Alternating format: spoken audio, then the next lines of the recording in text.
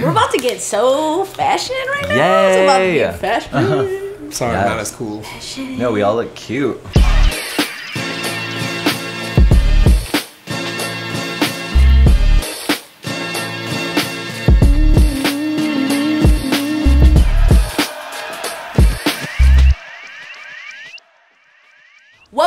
Everybody. We have a special guest today. The lovely, the talented, the fashion icon himself, Aw, Jake Thompson. Shucks. Hi, everyone. hey, guys. What up? Hi. Ah, I'm such a fan. Thank you so much for having me. a little background about Jake. He does social media. Yes. You, he's a writer. Yes. He's a director. yes. He's a fashion icon. I mean, I can't call myself that, so.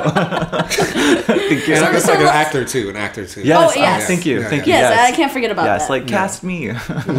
so, so tell him a little bit about what you do. I write and produce my own sort of comedic commentary on pop culture. I make parodies of like Big Little Lies, Game of Thrones, anything really on Netflix actually. Okay, and his recent one is Bird Box, and it is hilarious. Go Cool. check it out. Thank you. We'll put the link in the bio. Aw. Yeah, and so I just I edit them. I have a friend that kind of shoots them with me, and beyond that, I just love taking things that are mainstream and putting my weird queer read on them and then uh, putting them all over the internet. I'm like, I mean, YouTube is great for a reason, so This episode, we wanted to talk about fashion. Yes. Um, and Tony and I couldn't think of a better guest to have on for fashion than Jake, who literally coined the term fashion. Fashion. Fashion. out. The angle that I wanted to take it from is that to me, fashion is really important to me. It's a passion of mine, um, and it to me it is a visual representation of of who you are, how you feel that day. It's like a superhero putting on their costume. yeah. And that's that's how I feel. So growing up, fashion meant different things to me, but it was always important. That was the one consistent thing. Yeah. So for you growing up, did fashion play a part in your life? And and when how early do you remember it playing a part? I'm so grateful that you guys chose me uh, because yes, I didn't realize it at the time, but fashion has actually like saved my life in a lot of ways. I feel like it's walkable art. You get to be who which character you want to be every single day. And so I definitely always felt like uh, growing up throughout the years. I mean, I, I'm from Minneapolis, Minnesota. Grew up in the Midwest, and it's funny if you look at old pictures of yourself as a kid. It's like you knew there was like this little star trying to break out, but it's like No, no, same. but you're like, oh my gosh, like I'm in the closet, like in the Midwest. So it's like, you know, but yeah. So definitely throughout my life, and I feel like probably similar to you, it's like there was someone always trying to break out. Was that something that was like supported, or was it something that you kind of had to keep to yourself? Oh yeah, okay. So this is really crazy. I mean, I feel really fortunate. My parents are the most open-minded, progressive people in the world. So it's like they've always been like super supportive what before I was out of the closet and then after I came out obviously, but it's like it was more like my own thing. I think it's like such an I think coming out is such an intimate experience to every individual and it was I was harder on myself I think mm. than my parents actually were. Wow, that's and so it's kind of this thing where it's like cool. for some reason it was mainstream like media everybody was telling me that it wasn't okay or some, there was something wrong with it so it's like that's kind of where the limitations of expressing myself through fashion So to go off from. that, how did you dress? When did you come out first? And Okay. then how did you dress yourself before coming out versus versus when you came out? okay oh my gosh it's like the 10 year challenge is real. But like okay so i came out when i was 18 yeah to all my friends and family. Like it was like in one i was like i guess this is my coming out party. Like it was like started out as a party. By the end of the night i was like in a bathtub with like my sister and i was like i'm gay. And she was like oh my god amazing you know?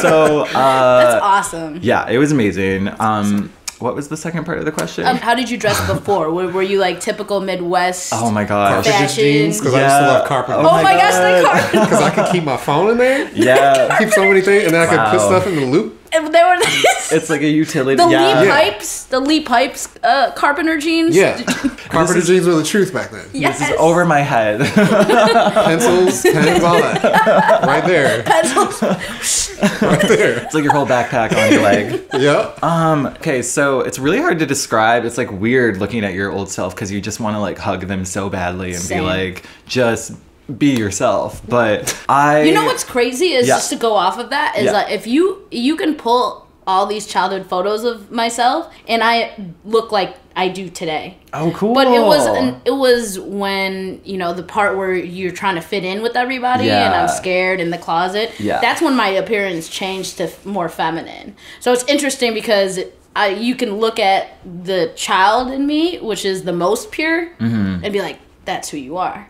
And then I lost myself for a little bit, and then now I'm back. Ah, now you're back, better than ever. Yeah. So, but for you, you It was a little limited. I mean, I think that there's something like people always talk about the pressures that are put on. I mean, this is like in the total gender binary, but like women have pressures put on them that I can't say I can't live that life, you know, but it's like as far as boy, I think boys equally have a lot of pressures put on them in terms of mm. masculinity. So it was like fashion in general, like no offense, but like men's fashion isn't as fun as women's fashion, I feel like sometimes. I agree with that because even if you look at like fancy events, Yeah. Because sometimes I'll think about that if I'm watching like an award show or red carpet. It's Yeah. like girls get to do so many things, Yes. and guys it's like you're wearing a tuxedo or a tuxedo, Right. You know what I Right. mean? Like girls can do change so the many different things. Change the color things. of your tie. Right, like that's it. Like otherwise you look crazy or whatever people think. So I agree with you on that. Right. And it was like the access that you have in the Midwest. It's like either thrift stores or like Target. So I really did kind of grow up wearing like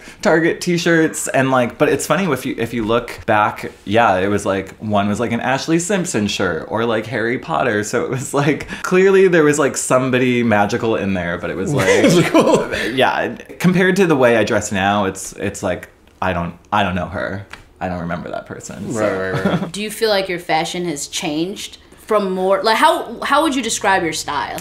I would say that fashion in general is more of a mindset. It's like I've always like in my mind I'm like I am killing it. like you know what I mean? Like I'm strutting down the street even when I was wearing my little like Ashlee Simpson t-shirts and uh, pop punk shirts and it's like you hear the music in your head. right. Oh my goodness, yeah. I was just I was literally telling Tony that I was walking Yossi with Beyonce's live album in my ear, just like. And you were slaying extra Oh my goodness, I was walking so hard, my stomps were just I was feeling myself. Ah, that's like the La La Land we should have gotten, you know what I mean? Yes. That's amazing. Yeah, I, and yeah, fashion is also so musical and sonic too. So I guess I think that even when I had a limited limited resources, mm. I was this person. You know what I mean? And I just now I have access and the confidence to actually like be it all the time. If that makes sense. Yeah. It's almost like when Lady Gaga talks about like she was famous before she was famous. Right, right, right. Like it's like you tell yourself at night like I'm into fashion. Are you into high fashion? Do you like do I- you do you like the high end design designers and stuff? Because I feel like a lot of that is misunderstood. And I'm one of the Yeah. people that misunderstands it. Yeah. Because a lot of times, like my perception of designer stuff is just like you're trying, you're just wearing that because it costs a lot. Yeah. And me and her have this like kind of debate all the time where I'm like, are you buying that because it's so and so's thing, Right. Or are you buying that because you think it's worth what it costs? Right. You know what I mean? So And my rebuttal to that, a lot of the times, is to me, again, fashion is art. It's wearable art. Mm-hmm. So I don't just buy designer just because it's designer. Right. Like I there's there's Gucci pieces I hate, there's Louis pieces that I hate, there's Dior pieces that I hate. I Yeah. hate certain pieces. I don't like everything that they do. Right. But the pieces that I do love, when you look at the craftsmanship of the piece, Yeah. from the sewing to the materials used to all of that and you break it down that's why i love it Right. because i look at what you know what the designer put into it From, Totally.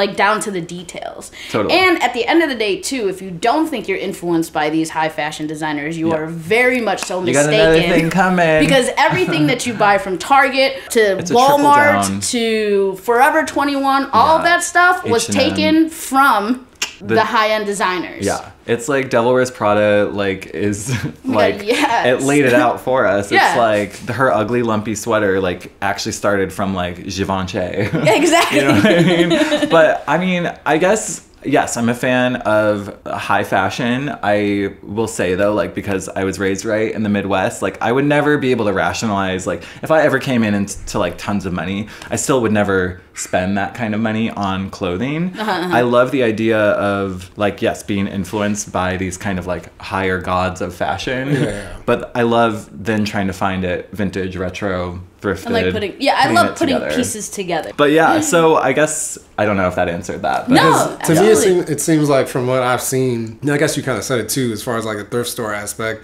It seems like more of what you're doing is about like what you're making, and it doesn't really matter Yeah. where it came from. It's just like I got this and I got this, Right. and these go together, and it's Right. kind of like it could come from Party City for all we know. Like Totally. it doesn't matter. Well, and the funny thing is, like, high fashion to me is so hilarious. Like, it's so like it emotes so much joy. Like when I see something like Tilda Swinton wears, like I'm just like I want to wear it too. Like Yeah, it's, yeah. I think it's performance and like what you said too. Just like the craftsmanship and like the art, like everything Solange wears. I'm like, it's, Oh my it's, goodness, you know, yes. it's like on a whole other level. I mean, talk about a style icon. She definitely. Yeah, yeah. And I just think it's like if someone made these ridiculous, like high collared, shoulder padded outfits for us to play around in. So might as well. You know? so with, with that said too like do you ever i mean I, i'm sure it, it happens but do you ever get like judged by people like when you're out and about and like what what is your response to that like how do you do you, like does it affect you or are you just like whatever Do you want to go first? Um, I don't, I because for me, I don't, I don't get that type of attention. Right. For me, Yeah. When I'm wearing my clothing, Right. stuff. But I feel like with you, your approach is a lot is a lot louder than Yeah. mine. One of these is So- like the others.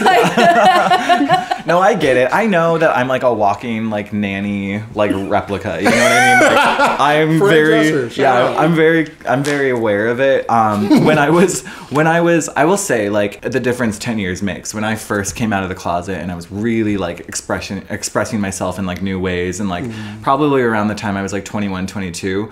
I really like fed into kind of like that hysteria. Like I would always be like, oh, like they're talking about me or like that person's like. But then all of a sudden you're like, whoa, do I think I'm Nicole Richie? And like everyone cares so much about like what I'm wearing. you Yeah. know? and so I think that you actively participate in that sort of kind of negativity uh-huh. if you want it. So like. I feel like now, if there are haters, like you Yeah. just throw on the hater blockers Totally. and like keep it keep it moving because it's like well whether they're like in awe or maybe they don't even like care who i am you know what i mean it's like mm. all of those things are just like at the end of the day i still have to be myself you know so do you think that it ever stops you when you're wearing something like kind of out there Uh. do you ever think it like stops you from or stops people from approaching you like do you- does it ever make you unapproachable Ooh, I don't think so. If anything, I get a lot of joy from like elderly white women who are White? just like who are just like, I love your outfit. Where'd you get it? You know what I mean? And then all No, of a sudden it just like breaks this. I'm like,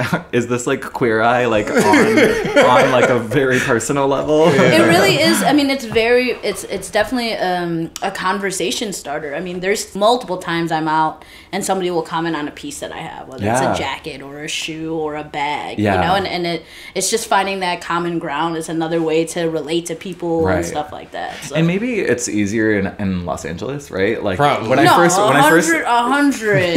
like when I first moved here, like I was at the grocery store and there was like a drag queen walking around. There was like next to like a nuclear family. You know what I mean? Yeah. So it's like I feel like no one here like bats, Bats an an eye, eye. no. You know? Definitely, Yeah. it's definitely different. when I first got here, I felt like if I wore something, like there was this blue jacket that she got me from H and M. Wait, can I preface this for a second here? Okay, so Ooh. when I have been in my group of friends, this like fashion shepherd, I guess you can say, um, a lot of people that have moved here literally have hit me up and been like, I, "Can you help me?" and like help me change my style once they've moved here, and that's awesome. I love that. That's like cool. taking somebody shopping is one of my favorite things to do. And so with Tony, he didn't really necessarily say this to me. He wasn't like, "Help me." I literally said, You if need we're help. going out, you need help. You need to take off those carpenter's jeans. I am going know to what? help you, Tough love. and I am here for you. yeah, Yeah. That's family. And he was not receptive at first, but he did it. But he hesitated so hard on this. And you guys, it was the most basic blue bomber jacket. Like, so many people, anybody wears that. But for him, that was so. Oh, he was branching out. I know, but it It was, was like super loud. It was so loud to him. because so for me like dressing has always been more of like a like I was saying before like it's been a tactical thing where like I'm not really trying to be seen like Yeah. and I used to just wear kind of black or gray, whatever. So Yeah, like, yeah, or like dark blue if I was gonna wear a color. But it was always like to not be seen. Like I freaked out about people looking at me. So like you Yeah. having people approach you, like I was trying to not do that. He was trying to So, live in the shadows. Yeah, like so she got this blue jacket and Yeah. I was wearing it. I was like, I feel like everybody's looking at you right now. She was like, dude, nobody's looking at you. And I was like, I just feel like everybody's looking at me. have well, yeah, and, and then because we went out in matching jackets. Like I had a black one and Oh, he cute. had the blue one, Yeah. and like there's photo. We'll, we'll show Yeah, that I photo. gotta see this picture. And I had like Yeah. red shoes on and this blue jacket. Oh, I and mean, was that was like, there's like- too much, there's too much color on me right now, and I felt like everybody was looking at me. So, I totally get it. Yeah. so it's it's just crazy to me to like see somebody that is just like, yeah, I'm gonna wear this leopard print suit today and give zero fucks like Yeah. that, because I, could never, I could never do it. Just a tool that I think of sometimes. I'm like, most times, right? Like, there's like a however many people live in this world. Like, the likelihood of running into like a hater again on the street is probably not gonna happen. So like, I'm like, Yeah. you're welcome. Like, you I got was- this like, you got this cool new Right. like thing to talk about. I also think that evolves. Like I feel Yeah. like now, as we get older, Yeah. we don't care. I oh don't, my I don't- gosh, yeah. I'm yeah. gonna wear what I want, Right. and it, whatever. If you have something to say about it, congratulations. Yeah, and like it does get better. Like you do, It like really does. You really You- start to just be like, oh wow, like eye on the prize. But know? even, I I mean, I feel like even for Tony, I, I totally. you I'll care. definitely step you it up. definitely care It's less. actually funny Yeah. because you definitely step it up. It's interesting because I've always kind of thought of you as like a stylish person. So Oh. Oh you my know what I mean? goodness! yeah, the truth is coming out. But yeah, I mean, and especially yeah, I've always known like the mi- when I first met you, I was instantly like, "Yep, you get it." You know, like I hate to be like like oh like straight guys, like I immediately like knock them down one peg in like fashion, but I thought I just like I've always seen you as like a stylish guy, so Oh, it's never been you know so. Yeah. It, it has been a thing like I think I've evolved since living here Yeah. because I again I'm around people that care more about it. Yeah. Because like when I was in the Midwest, it was the same thing. Like me and all my friends were just like dudes, Right. And we just wore carpenter's jeans and Right. like hoodies and Right. just didn't give a. So out here, it's like okay because people are more about that. It kind of has made me be like, okay, I can try some stuff and like do some stuff. And, Yeah. Like, nobody's gonna be like talking shit because they're No, gonna be like, oh, that's cool. Like I also like that. And I also do that. Like, Right. all right, cool, dope. Right. But even still, when I go home, it's still like, okay, look at this guy. He's fucking thinks he's famous. So it's, Uh, I hate that about the Midwest when everyone's like, "Oh, you're so LA now," and I'm like, Yeah. "Uh, like says you who will like literally never move." So, like, what basis do you have on like what is so LA? no, totally. You know. So another thing, another point that I wanted to touch on is that after coming out, I started to just morph my morph my style to more more of a masculine approach, and it came in like tears. Yeah. Like, and You it can tell came, by the haircuts. Yeah, that's literally what I was just about to say. You can Yeah. tell from my haircuts. yeah. First, I cut my hair, but I was still doing this like feminine Aw. swoop. That. Bieber? A little baby gay. A little, yes, I was a baby gay. I was. I I was know that wearing like. I was wearing Yeah. like hoop earrings Death and like for Cutie. lipstick still. Yeah. And then as it like went through, I was like, oh, this is still not me. To me, fashion also has to be comfortable for you. Yeah. And not in the sense of like comfortable shoes or, co- but just you need to feel right. Mm. Every time I wore anything feminine, I was just like, ugh. like it was literally like uh, like bugs crawling on me. That's how I felt like Aw. the whole time. So with you, do you feel like as you've gotten older, you've leaned more into your feminine side, and did that take time for you to be comfortable with that? Yeah, it's. I mean, there was always like little signs there, right? Like as a kid, I would wear like a towel to be like Ariel from The Little Mermaid, but like I don't know, maybe that was like a whole other form of expression. But like, as soon as I came out, for sure, like I was like, whoa, like gonna only be shopping in like the women's clearance rack at H and M, you Yeah. know, just because I like we talked kind of about earlier. Like I've always thought women's fashion, uh, what women wear on the red carpet, like I've always been so mesmerized by it. And once I finally was like, oh, I can, I can be like the reality that I want to be. I definitely started to lean into the femininity. Uh, for sure. But yeah, it's all a journey. Like I've I've even like recently been kind of uh, our friend Christina. Like we were texting the other day just about like fashion and style, and like Uh-huh. she's also like a fashionista, I would say, and she says that like I want to always be like a chameleon of fashion. Look at her. Look You know at- what wow. I mean? Yeah. Like not being able to ever be defined like by like it's cool to be recognized as like a fashion uh, stylish person, but um it's fun to like lean into masculine and feminine on different days. Like I never want people to kind of like Expect Yeah, like know what I'm going to hit them with next, you Right. know? like the nanny today, like I could do I don't know, like Killing Eve tomorrow, so Yeah, yeah. you know. But See, yeah. I'm kind of like the like the opposite of that, where I I want to have because when I was in high school, I had all these like in cool clothes, and then they mm. weren't anymore, and I was just. Yeah. kind of like out here. yeah. I was like, my goal would be to have something that I can just wear forever. That nobody ever is like, well, you're still wearing that. Like, Yeah. so I kind of lean into this T-shirt thing because I'm like, this will always be a thing. Yeah, yeah, yeah. And maybe like change out the shoes or like I don't know the jacket, but I like the idea of having like a standard thing that Yeah. people kind of can be like, that's his thing. Like he does that, you know? See, I'm that's- honestly, but I'm with Tony on that one. Yeah. Like I like when people are like, "Oh, that's an angel jacket. Those Yeah. are angel shoes." Like Yeah. I like having uh like a, a style that That's cool. because I mean it's, it's taking a whole damn lifetime to get that. yes.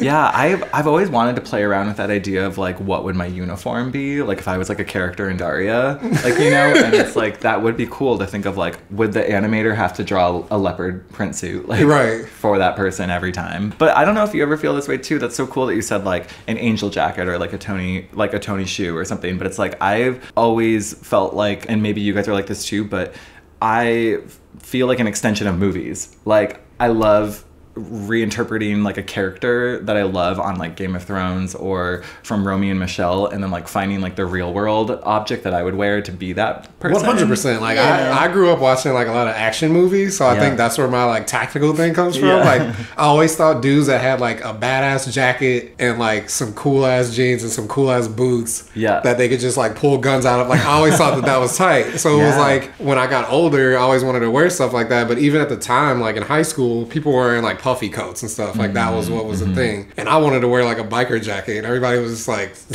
Okay, Yeah. like what are you doing? Like you a girl? Right. And I was just like, damn. I said they called you a girl for a biker jacket. Well, because it was like shorter, because it was like it fit Oh, like a right. jacket, you know, like like a jacket's supposed to, Wild not like times. a baggy ass '90s jacket. You know what I'm saying? Ah, people are so boring about gender. Yeah. So it, that, yeah, that's another thing. I definitely would say like I was influenced by movies too, for sure. But it was just always like the renegade Yeah. motorcycle shoot 'em up dude. Like Right. that's what I thought was Right. cool, like the cowboy guy. Right. It's been it's been kind of fun having friends be like, if you think of like the Parker Posey or like the Selma Blair, like the really weirdo queen in the movie, my friends are always like, "Oh, that's like you," and I'm like, "Cool, I've achieved. I've that. graduated." Yeah. well, what does fashion mean to you?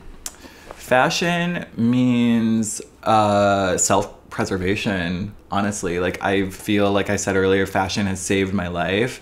I think that fashion is. Yeah, let's go into that a little more. Can we? Can we dive deeper into that? Totally. How has fashion saved your life? I just think that when you've lived a, a way of your life for so long and it's like these restrictions and rules and limitations that either like society's putting on you or you, and then you put them on on yourself. yourself too yeah, and then it's just like that repression that lie like eats at you. And i always knew that there's like a star in here but i cannot do it here you know? So i definitely think that i moved so i guess a little more about my background. Besides doing digital media i work in tv and the first show i ever did was ugly betty which mm. was a huge show about like fashion, was a character you Right. know? Right. and to, to some degree i kind of owe betty suarez like a big part of my life. Like i know it's like not to get like choked up but like i do sort of feel like i am ugly betty because it's like i'm a career driven girl who has like quirky fashion and like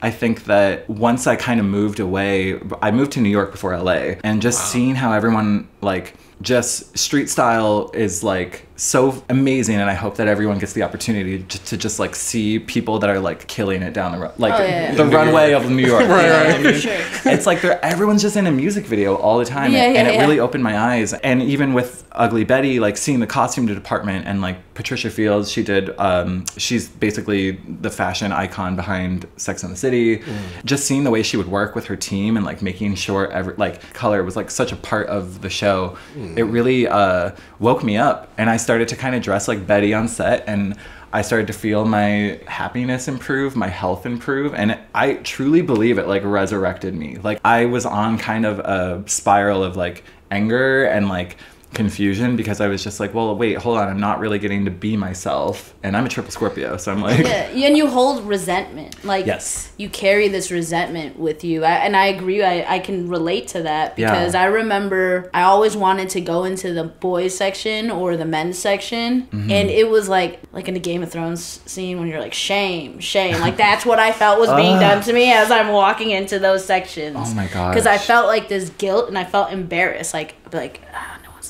no one's looking at me. Or right, let me go look at you know let me go look at this.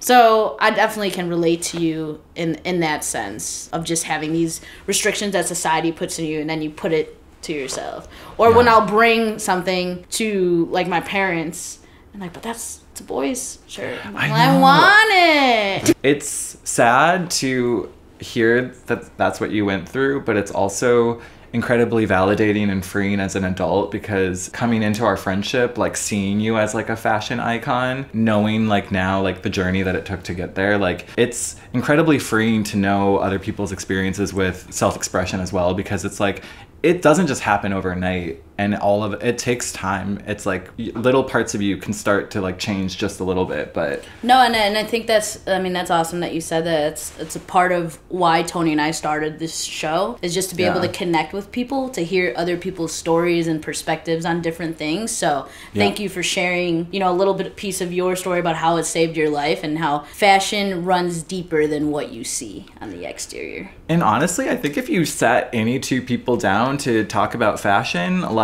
you'd be surprised, how many people like actually care a lot about what they present to the world. It's like, Yeah. you know, I will say this, like my, I know I brought up Ugly Betty, but it was like I was a PA on that show, and Mm-hmm. I think we all know how PAs dress. Like they wear their college sweats and Yeah. like they Yeah. look disgusting every day. And it's like I every day like dressed the part, and that Yeah. is why I, I think I saw photos like there was like you in like the blue like polo Oh my gosh. shirt, right? Yeah, I'll have to send you guys some pics, but like I definitely think that like here's the thing.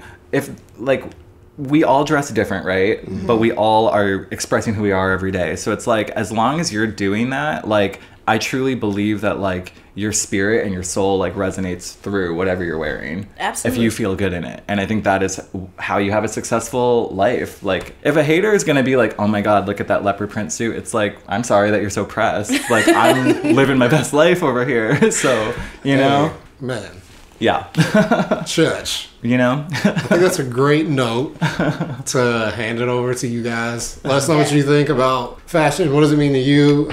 What do you Yeah. wear? That's what's your thing. What's your uniform? Is fashion important to you? Are Let you us know. fashion or are you fash out?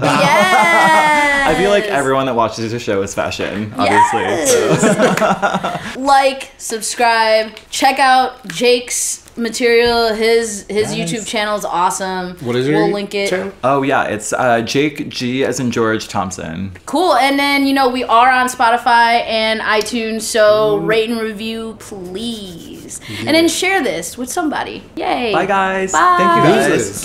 Thank you.